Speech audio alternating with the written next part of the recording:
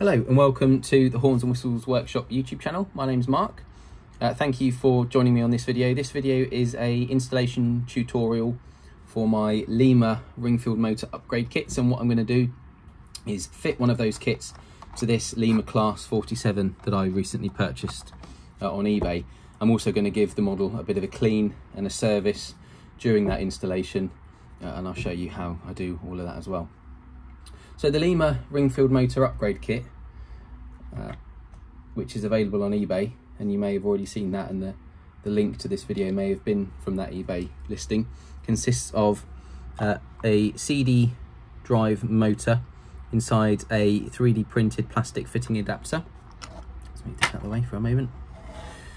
Uh, a length of heat shrink tubing and two little pinion gears um, you only need to use one of them. However, I give you two so that you have a spare because what we need to do during the installation process is cut this gear in half and there's a possibility that that gear might either break or, or ping off. Hopefully it won't. If done properly, it should work absolutely fine. So let's just put that to one side and I'm just going to go through the tools that you're going to need to do this job. It's not very many to be fair.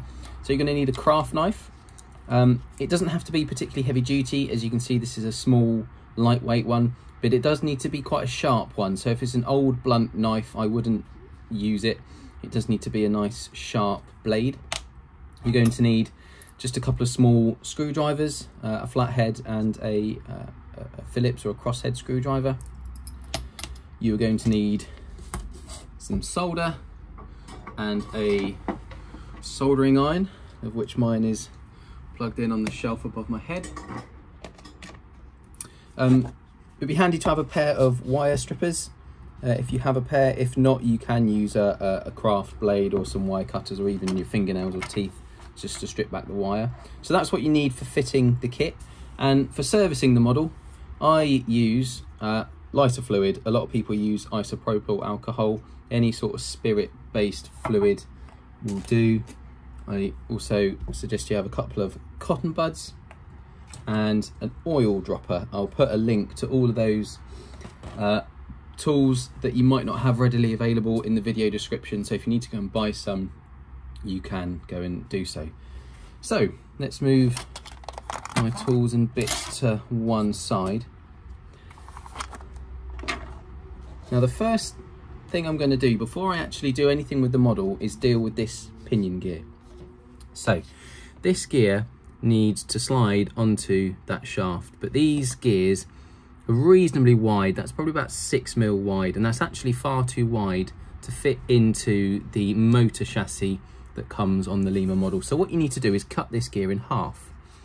Now you'll see, hopefully it shows up on the video, one side of the gear, so it's this side of the gear, has got a bit of a chamfer so there's no teeth up to the edge of the gear and this other side of the gear here has got teeth right up to the edge.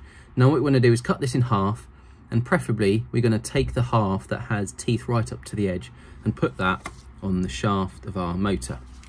Now cutting this gear in half is what you need your craft knife for. Now when you do this I would suggest you don't just put your gear down, put your knife on and press down because you won't get a straight clean cut. What you want to do first is score the gear all the way round, which is quite easy to do. And then once you've scored the gear where you want to cut it, you can then press down and you should get a nice clean cut that should be relatively straight. It might not be exactly straight. You don't need to lose any sleep over that. As long as it's reasonably straight and even, you'll be absolutely fine. So what I'm going to do is put my blade in the middle of the gear. So the gear is on the mat so such that I can roll it. So it's on its round uh, edge, if you like, on the mat. So I put my blade onto the gear at one extreme end of the blade and make sure the blade is at 90 degrees to the teeth of the gear, just like that. And what I'm going to do is put a little bit downward pressure and just using my other hand to encourage the gear to roll in a straight line, I'm just going to roll the gear underneath the blade pressing down on the blade so that I'm scoring the gear all the way around. I'm just going to keep going round and round. See, I'm halfway down the blade now. Keep going round and round putting some downward pressure on that blade, scoring that gear until I get pretty much to the end of my cutting blade. Now, if you take your knife away from your gear, I don't know if it will show up on the video, but you can look at your gear and you'll be able to see a score line in the middle. So now to cut the gear in half, just put your blade onto that score line, like so, and then just holding the gear with your thumb and forefinger with your blade through it so you're not going to cut your finger. You want to make sure that you hold the gear a little bit otherwise when you cut it might ping off and you might lose it. Just press down and your gear is cut in half. And as you can see there that.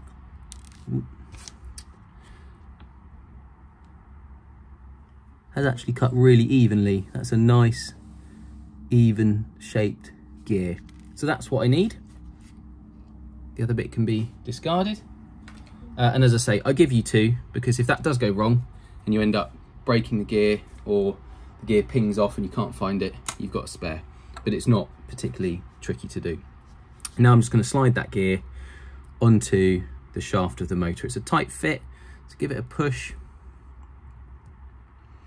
And then use your thumb and four fingers on the bottom just to lower that gear down and you want to lower that towards sort of the base of the shaft but you want to keep a gap so if I bring my knife back you have a gap just between the bottom of the gear and the motor you want to keep that gap there roughly a millimeter but we might need to adjust it a bit later when we fit it to the model so that's that bit dealt with so I'm going to put that motor to one side now and bring in the model because what we're going to do is take the model apart, strip the original motor out, give the model a good clean and then install the new motor. Now this is a Lima Class 47. As I say, I bought it on eBay. Um, I don't know whether it runs or not. I've never tried to run it. I've never taken it apart. I've no idea what it's going to look like inside. It looks a bit dirty. It certainly could do with a clean. Um, it could probably do with a re-lubrication as well, so we'll do that. Now, one thing with Lima models is quite often they have a screw securing the body to the chassis and that screw would sometimes be maybe around there or around there let's turn some lights on uh, around there or there so before you go trying to unclip the body and pull it off just have a check around and make sure and it's worth checking down in the top as well make sure there's no discreet screws that are going to prevent that body from coming away because the last thing you want to do is try and yank something and it break. Uh, and what I need to do with this model is remove the buffers because the buffers actually go through the body and into the chassis. So I just need to, with my thumb and forefinger, pull those buffers out. There and there.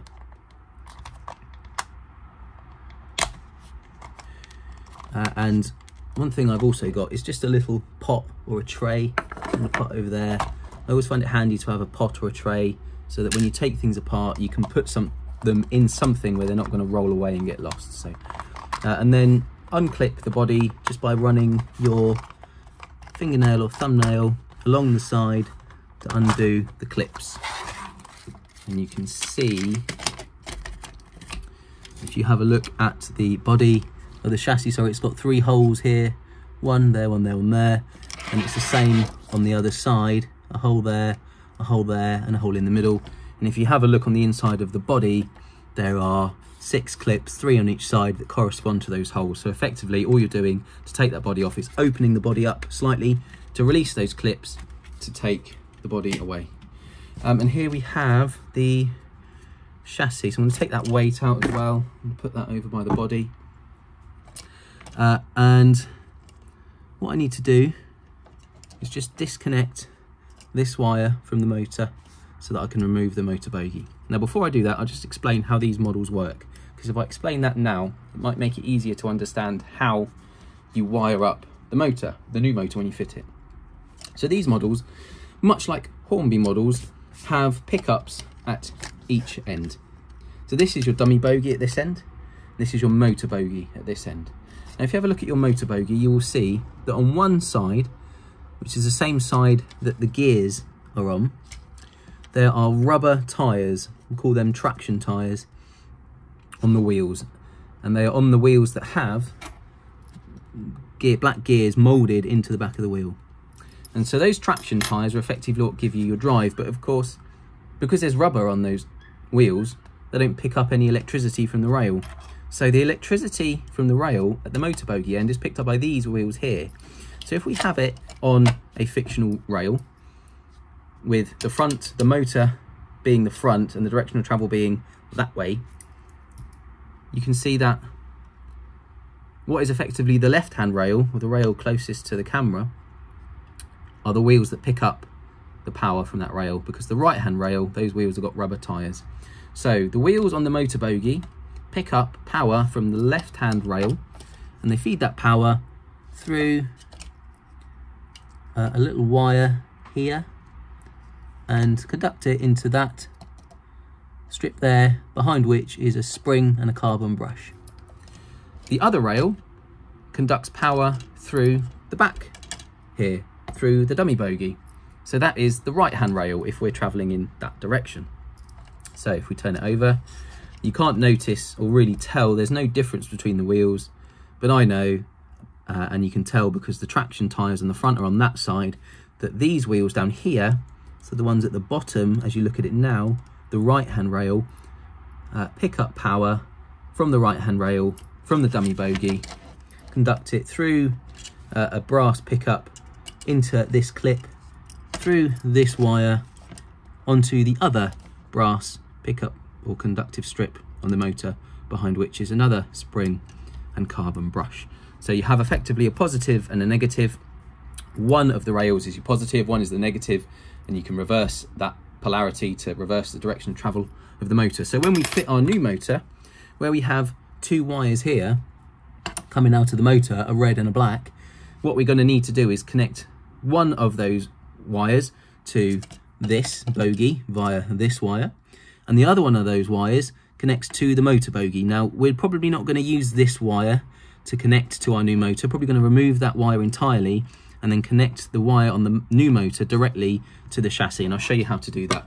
But the first thing I'm going to do is just disconnect this wire here that goes to the dummy bogie mm, so that I can release the motor housing from the chassis. So if I move that out of the way there.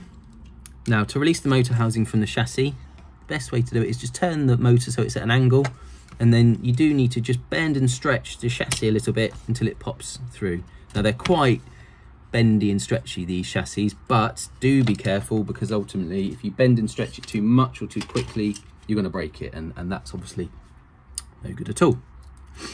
So there we have our uh, motor.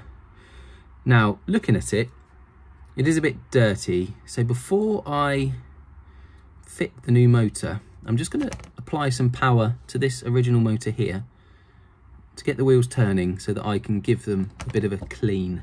So all I've got is my uh, standard Hornby analog controller and some crocodile clips.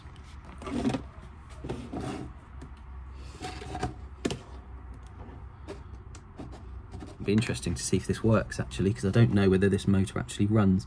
So I'll attach my crocodile clips to the um, motor here and turn the controller on. It just about moves. There we go. So, switch that off for a minute. What I'm going to do is get a cotton bud and put a bit of your cleaning fluid of choice on the end of the cotton bud. Get the motor running and the wheels turning and then just press that cotton bud onto your wheels to give them a clean. Now you can see how dirty that cotton bud's got. Now I wouldn't use any cotton bud that's got any solvent based fluid on it on the rubber tyres, I'll just use a dry cotton bud to clean them.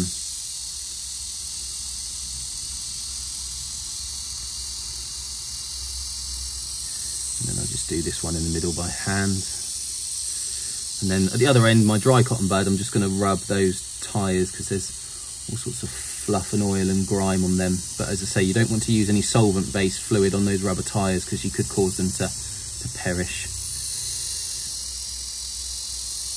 Look how dirty that is. That's really dirty. That's one thing people often forget when you're running a model railway is people are often in the habit of cleaning their track, which is good. But what people often forget is that your wheels on your model are often just as dirty as your track is. Uh, and so actually regularly cleaning your wheels is as important, I think, as cleaning a track. So anyway, that's that done. Now, this wire here that goes to this terminal here, you can trace that down a tiny little clip just under there. Uh, it's a bit tricky to get to. Hopefully you can see it on the uh, video. Uh, so what we're going to do is disconnect that wire from that clip just there because I'm going to solder my new motor wire directly to that clip rather than stripping the wire. So hold that there, disconnect that. Oh, my light's flashing above my head. So that is that disconnected. So now what I can do is remove the original motor. So this has got uh, flathead screws. There's two screws, one there, one there. So let's undo those screws and take the motor off. Uh, you need to keep these screws because you need to reuse them to fit your new motor. So I'm going to pop them in my pots over there. And here, oh it fell away, you can see the, uh, the springs that are on the other side of those brass strips. They then conduct power into that carbon brush, which presses onto this armature here, which when you have two, create your um, polarity that makes it spin a bit like a, well, it's an electromagnet really. So that armature needs to come out, thumb and forefinger, pull it out. Now you can keep all these bits because ultimately this entire job of fitting this new motor is completely reversible. So if you decide one day to sell your model, but you want to keep your new upgraded motor and put it on a different model, if you keep all of your bits that you remove, you can just refit your motor because we don't need to make any changes whatsoever to the to the chassis, to the body of it at all. Now to remove the magnet, there's a, a, a little clip there that you need to release just by pushing down. Now that it sometimes is a bit tricky to be fair. So if you can get a screwdriver in there to release that, there you go, and then it comes out. That is can be a little bit tricky. Uh, now this looks reasonably clean in there, but I am just going to get a little wipe, just a little rag, put a bit of cleaning fluid on that rag. I'm just going to give that a bit of a clean in there and give the gears a little bit of a wipe as well because things just tend to run a bit more smoothly when they're clean. There we go.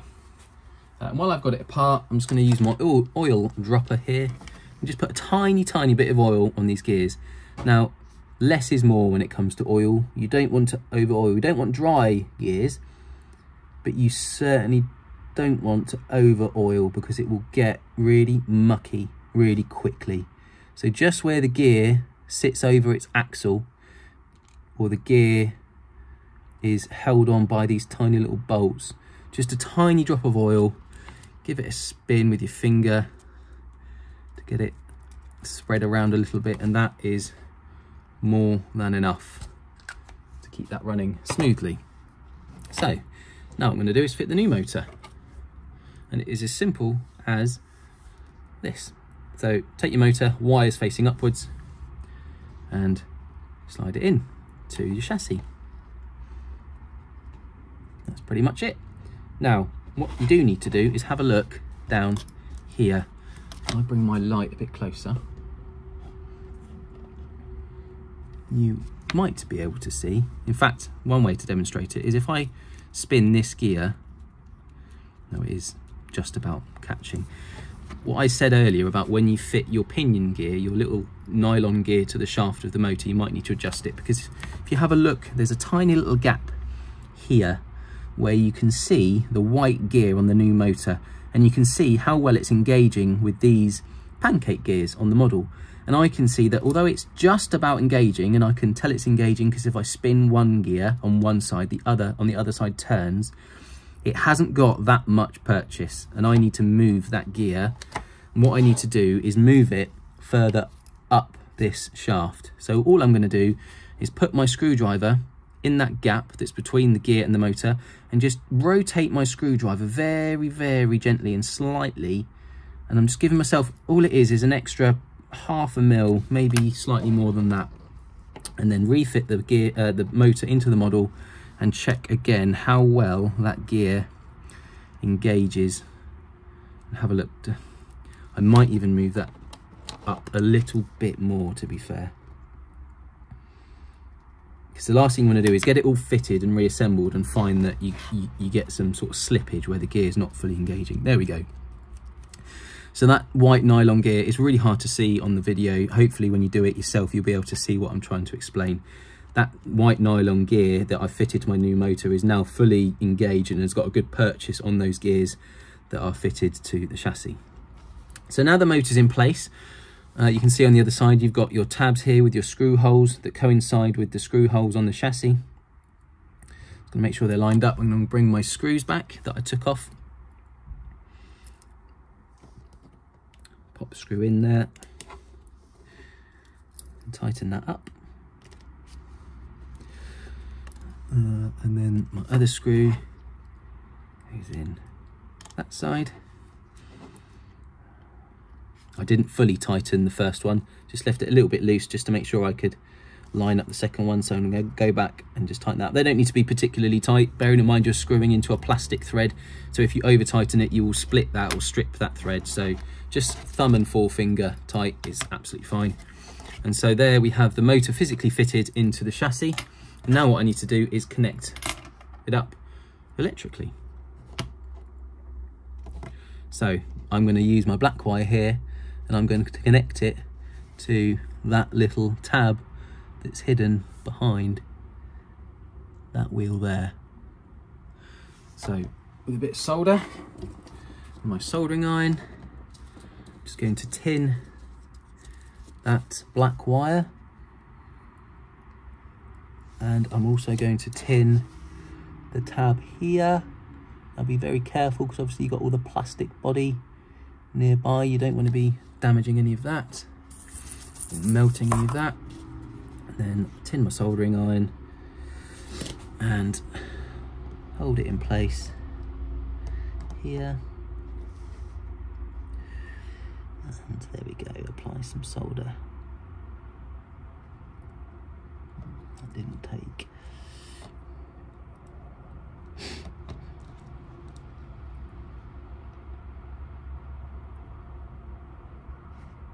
There we go. That's now secured nicely. So then the next thing we need to do is put the chassis back, or the motor bogie back in the chassis so we can connect this red wire to the wire that comes from the bogie at the other end. So here's the chassis. Feed your red, red wire through the hole there. And just as you did to remove the motor bogie from the chassis, put it at an angle and then just give the chassis a little bit of manipulation to get it to clip back into place, just like so. So the last thing we need to do is connect these two wires and then that's ready to run on um, analog. I think I need to strip or cut down this bit of, bit of wire here it's far too long. So I'm going to just get a pair of wire cutters and cut a little bit off there.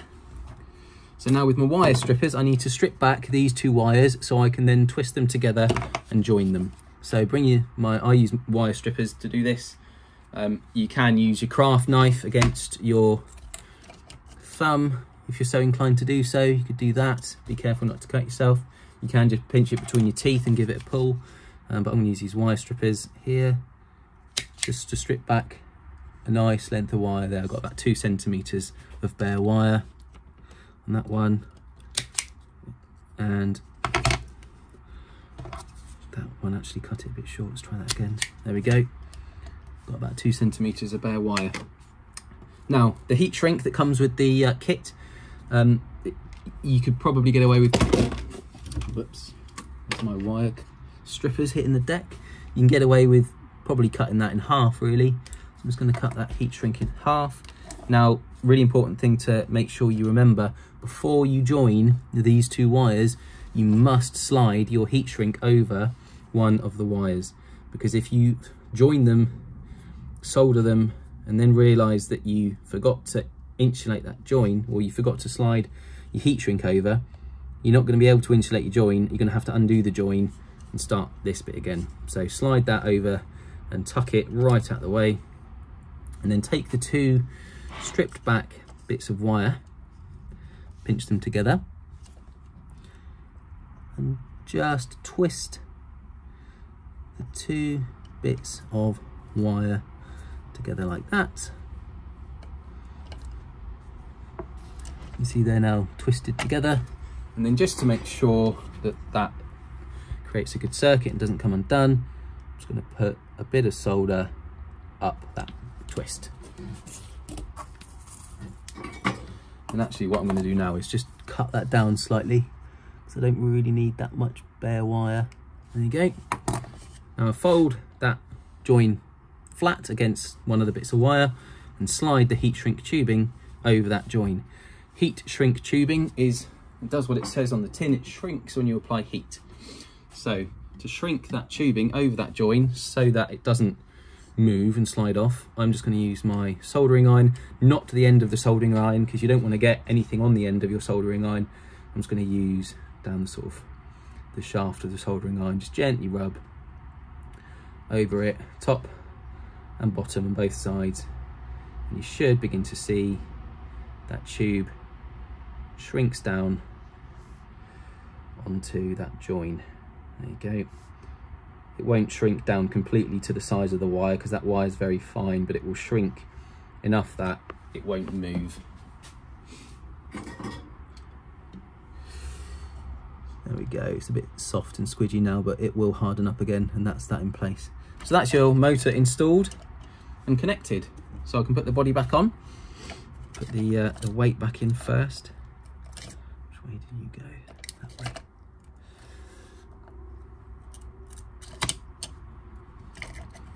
No, that way. I'm going to tuck that wire just down that little gap there beside the weight so that it doesn't catch on the body when I put the body back on. Um, and to put the body back on, as, as we said, you've just got three holes on each side, three clips on each side, and just line up to make sure that is the right way around. I don't actually think it makes a difference. Let's have a look. No, on this model it doesn't make a difference which way I put it because the middle hole is in the middle. Um, so I'm going to put that on top and then just press it down and that is on.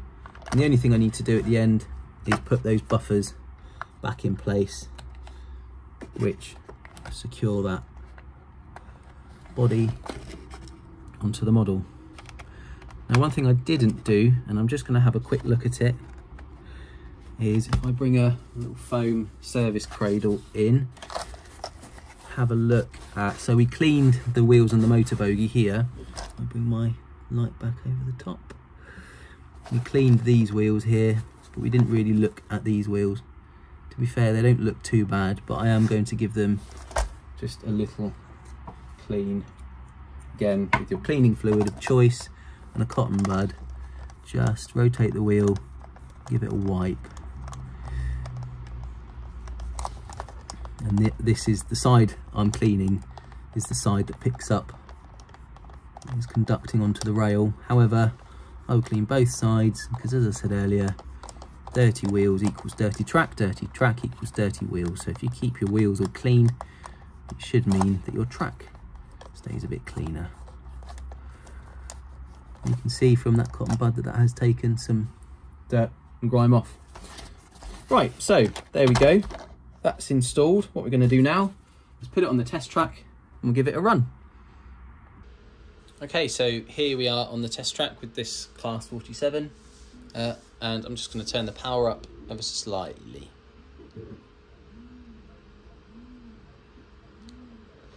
You see it starts off with a nice slow speed crawl and that's often seen as one of the benefits of these CD motor upgrades is that you can get much smoother slow speed running than you can with the original motor. You see there it maintains a nice slow speed crawl. Let's turn the power up a little bit.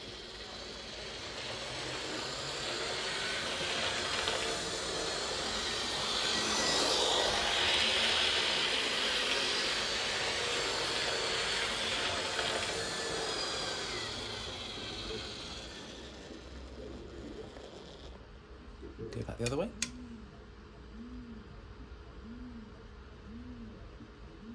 See that nice slow scroll there is much slower and smoother than you would have got on your original motor.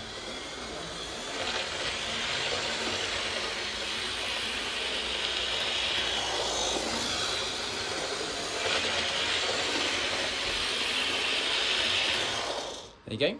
So at that point, when it was running at top speed, that was only 40% on my controller. And that's one thing to mention about these motors. There are various different types. There's 12 volt motors uh, and there are 6 volt motors of different shapes and sizes. This particular model has a slim 6 volt motor in because it has three axles on each bogie. So the motor needs to be slim enough to fit between the middle axle. There are some models, such as your Class 43 HST, where you've only got two axles per bogie and there's a big enough gap between the axles that you don't have to worry about the thickness of the motor and you can fit a wider motor in those models and there are various options in terms of voltages of motor for them. However, for these models and for steam models where the motor needs to fit between two of the wheels, your only option is a slim motor and the only voltage that that comes in is 6 volt. That simply means that the model will run faster on a 12 volt circuit. So you only need to apply half the power to get a decent running speed. And as I say, that was 40% power. Um, and on an analog circuit, that's the simplest way to make sure that these run well is just don't turn the juice up as high as you normally would. Of course, if you have a DCC decoder fitted, if you convert the model to DCC, and I have done another video in which one of these models gets converted to DCC, then that issue of running speed is dealt with because of course you can make adjustments to your decoder configuration values to make to, to limit the, the top speed and set the speed curve. Um, so thank you for watching. I hope that's been helpful. I hope that it's uh, an easy job for you to do Uh, and I hope that it's a useful upgrade to your models and will keep them running for many years to come. Thank you.